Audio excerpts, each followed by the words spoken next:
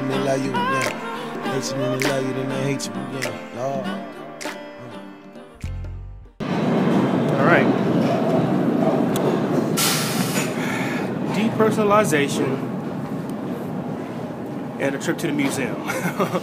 now, first and foremost, depersonalization for me is pretty far removed at this point. I still have slight symptoms, but it's it's uh, a ways away from what it used to be. So, with that being said, I'm going to take you through my little journey to the museum.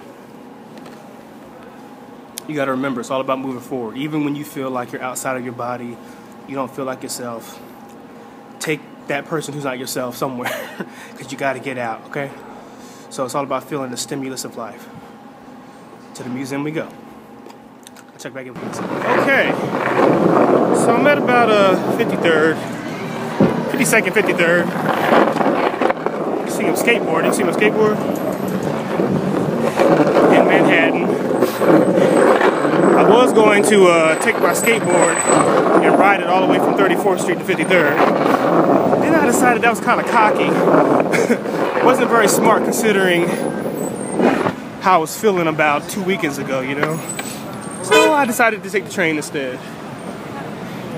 And that seems like that was a good idea. Um, hopefully they will allow me to bring some video into the museum. I'd love to show you some of the, the artwork. If they don't, it's cool, it's all good.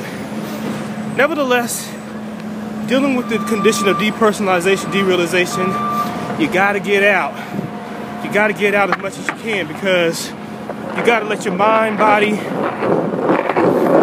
and soul feel the stimulus of life.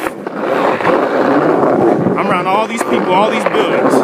Can't be scared. You gotta have no fear, okay? So, I'll get back to you in just a little bit.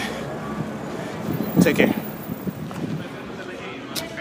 This is ElReco Ramon. And as you can see, I made it. I made it to the museum.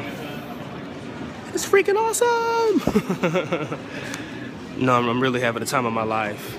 And um, one of the reasons why is because while going through depersonalization or um, the journey of the lost soul, one of the things that helped me out the most was redefining myself.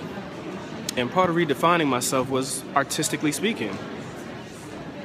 Um, I couldn't find a way to really just vent sometimes and express myself, so art became something that I use or utilize to, to express myself, like photography, um, art in regards to audio production, art in regards to painting. Um, I did it all. I did it all. And it helped me to be external and stay in the present tense and move forward through that condition. So, with that being said, find some art.